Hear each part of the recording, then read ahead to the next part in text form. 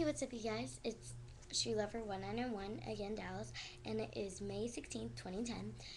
And I am to do another book review for TTFN.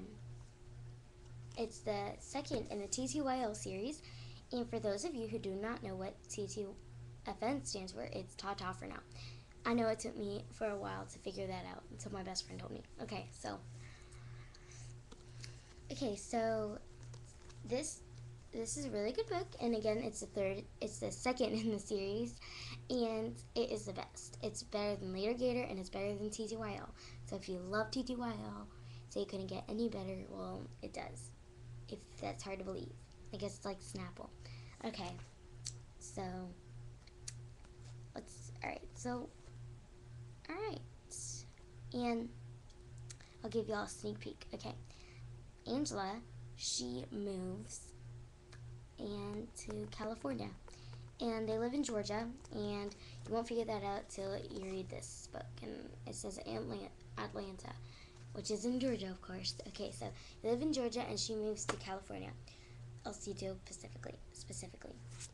Okay, and Maddie, she hangs out with a group of people who aren't. They're not the best group of people to hang out. Again, they're not. They're not good because they are they're like it's like peer pressure. She gives in, and she does some really stuff that is really bad and that I don't recommend doing. Of course, no one should do that. Okay, so and she gets caught by the fuzz. Okay, um, Zoe, she has a boyfriend. I know that is not juicy, but it is juicy once you figure out who it is. It's so juicy, juicy. It's like a juicy steak, a real good steak like Juicy Couture. Like an awesome $300 Juicy Couture bag that is huge. You can stuff your friend in. You can stuff like a, okay, it's like a, it's juicy.